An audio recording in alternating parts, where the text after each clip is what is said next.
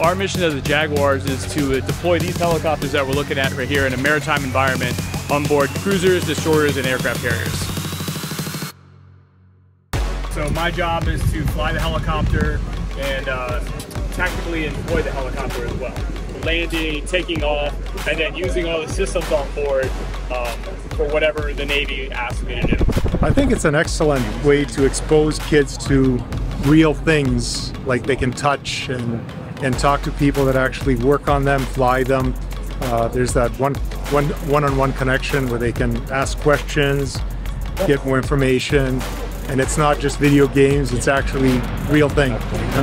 I love it. I've never actually seen a helicopter up close. This is where you execute all the missions. You can play with this, uh, find uh, surface ships out in the water. I have a red button and I want to press it, but I don't know.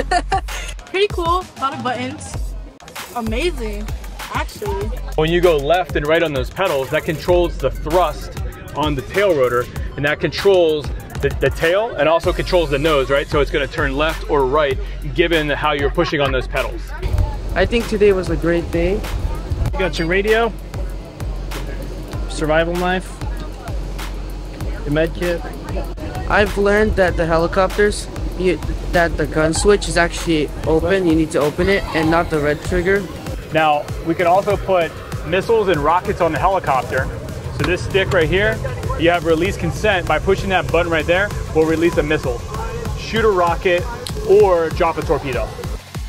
It's very unique. Um, I feel like it's an amazing experience experience that we're able to do here today. Um, lots of cool equipment, and uh, I would like to thank all these people for helping us learn all about it. Where did you go? Go Navy!